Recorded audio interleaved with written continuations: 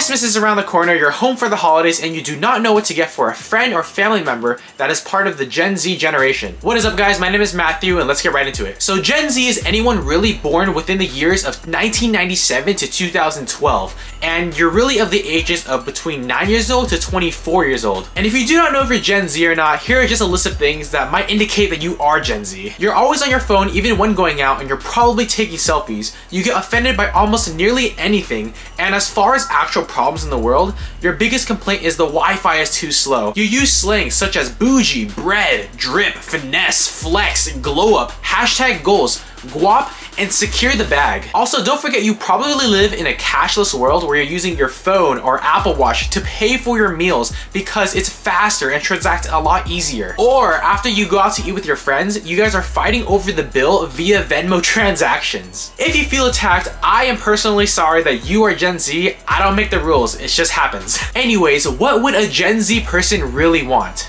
Definitely not this coolest grandpa ever shirt or basic gifts such as soap, scented candles, socks, or even this waffle maker. You see, in this video, I'm going to deviate away from those kind of basic gifts and really give you something from my personal collection something that's really going to mean a lot to a Gen Z kind of person. And that is a film camera. A film camera is cool, authentic, and real as it gives you a fun connection to a time you've never been able to experience before. On average, Gen Z spends an average of 9 hours per day on social media or on their phone just looking at a screen. Whenever young people are going out, they're always taking photos on their phone and sometimes it even amounts to hundreds of photos on a phone that they expect to go back later and comb through to delete some and keep some that they like. However, this does not really take into account the fact that they are taking multiple photos and not cherishing the moments that are well spent within one captured photo. Overall, these memories just don't seem as special. Now, Gen Z really grew up in this technological era where everything around them is really revolved around technology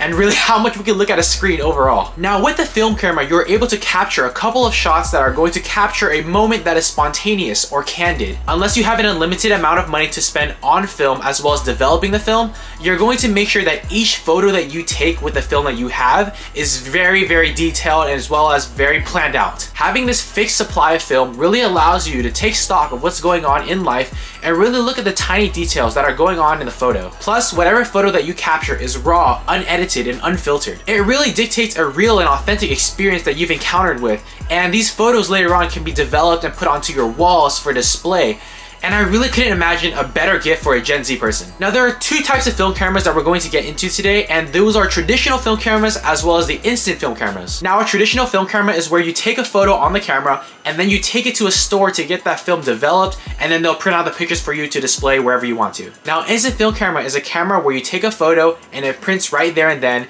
and you get to enjoy the aftermath of a chemical reaction that happens within the photo and it's really nice to look at as you're able to hold that in your hands. Now there are reasons as to why one individual individual may choose one camera over the other. These factors include price, convenience, the quantity of film, as well as the portability of the camera. So in the rest of this video, I'm going to give you guys some recommendations whether you guys choose to go with the traditional camera or the instant film camera. As far as traditional cameras go, the best one that I was able to find is the Kodak M37 35mm film camera with flash. The link for this camera will be down in the description for anybody wondering. This camera is a reusable camera that can take pictures in color and black and white and has a fixed focus wide angle lens as well as a built-in flash and an optical viewfinder and all it takes is one AAA battery to get this bad boy going. All you would have to do is replace the batteries, buy some film, and then go to process that film to get the pictures later on. Now this Kodak camera runs for about $35, which is very affordable for many. On the flip side, if you're looking for a cheaper option or just a option where you don't want a camera lying around after you're done with it, you can buy a disposable camera, and here's my recommendation for that. For the disposable traditional cameras, I chose the Fujifilm Quick Snap Flash disposable camera. The price point of this is about $13 per camera. However, it does come in a two pack sometimes, which runs for about 25 $5. This camera has a built-in battery and all you'd have to do is really buy the camera and then process the film after to get the photos. And now transitioning to the instant film camera,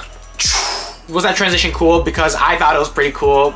I mean, just disregard it, whatever, it's, it's funny. It, I thought, whatever. Now, I am no instant camera expert by any means, and I just thought that looking at all the capabilities of this camera as well as the price point, you're getting quite the cool gift here for somebody else. For the price of 65 to $70, you are able to purchase the Fujifilm Instax Mini 9 instant camera. Now this camera accepts Fujifilm Instax instant film as well as producing credit card size prints it has a 60 millimeter lens as well as an optical viewfinder and auto exposure with manual switching, a built-in flash, and all it takes is AA batteries to get this bad boy going. It also comes with a bunch of cute colors that you can choose for the customization of the person that you're getting the gift for which is pretty cool. Now, instant film cameras, regardless of if you go with the one I recommended or not, is really going to allow Gen Z to sit down and realize that these moments are really precious and really focus on what's happening in real time. The moments captured on these kinds of cameras is really going to tell a story and is really going to be more memorable than the ones taken on a cell phone. It really allows for us to escape this technological world that we live in and enjoy the true finer things in life. Overall, a film camera of any kind would be a really great gift for a Gen Z as it shows a true, authentic story that somebody can tell to another person. It would also make for a pretty great gift for somebody who always spams their phone with hundreds of photos that they are going to delete later, but they actually don't. Now, all the links for these products will be linked down below in the description. I get nothing from these links. I really just wanted to find the best deals for you, the cheapest ones available as well. This video was inspired by a CNBC article that I read online. That link is also below in the description. If you enjoyed this video, please make sure to give it a thumbs up and consider subscribing to the channel as it really helps a small creator like me. Everybody, please have a Merry Merry Christmas and a Happy New Year, and peace out. You guys digging the fit though with the little Christmas theme with the pajama pants? Okay.